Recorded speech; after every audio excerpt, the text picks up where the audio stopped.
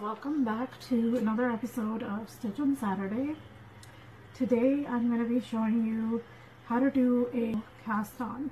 Um, basically the way you do it is, um, and I'm doing knitting, I'm actually switching it up. I've been doing Tunisian crochet for the past few Saturdays, um, but today I'm going to be showing you a little bit about knitting.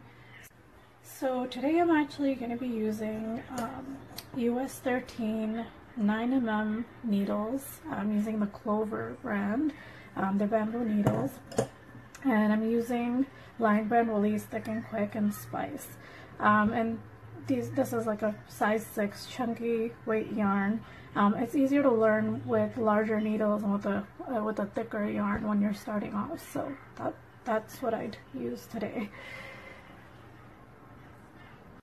In order to cast on, so basically you're holding the yarn down with your thumb and for, um, middle finger and you're looping it around your your forefinger like this and then just doing that.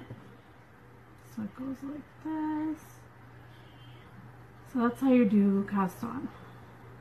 So basically what I'm doing is I'm going in with my right needle into that loop, then pulling my yarn over and then under the loop like that and then dropping this stitch off the off the left needle.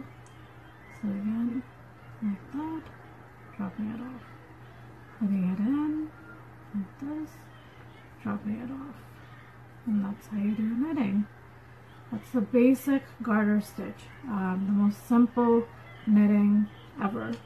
so I showed you that cast on and the knitting um, for this Saturday. It's a short one, so I'm going to show you.